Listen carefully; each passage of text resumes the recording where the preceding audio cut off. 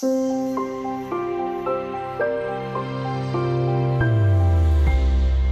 there. Throughout stock market history, there have always been crashes and corrections, and there always will be. What's more, it's at precisely those times of extreme market turbulence that investors tend to make their biggest mistakes. Here's the investment author, Lars Kroijer. So, how should you react? I always say, well, a lot of that is about looking inward. What is your risk tolerance? Do you has anything changed in terms of your knowledge about the markets and your ability to outperform the markets? In overwhelming likelihood is no.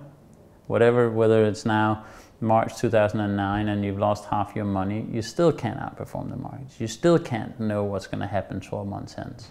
But that doesn't mean that the decline hasn't altered your circumstances. It might paradoxically be that as a result of a great loss, you have a lesser tolerance for risk. That's a personal thing, and you should treat it as that. The problem is that human beings are hardwired to react to recent events. The bigger the event, the more likely we are to react.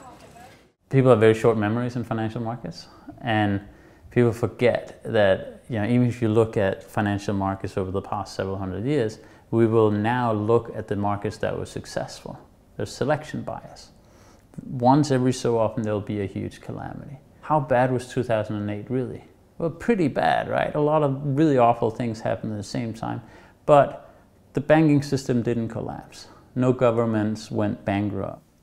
The fact is, we can't predict the future, and investors should be prepared for a severe market downturn at any time. The best way to do it is to diversify. Should you have gold bars in your vault somewhere that you're going to go pick up? And in the case where that was actually a real store of value, would you actually want to wander the streets with these gold bars? Should you have bought a gold ETF? Well, I don't know, in a complete calamity, these you probably couldn't transact any of those things. So there are no good answers.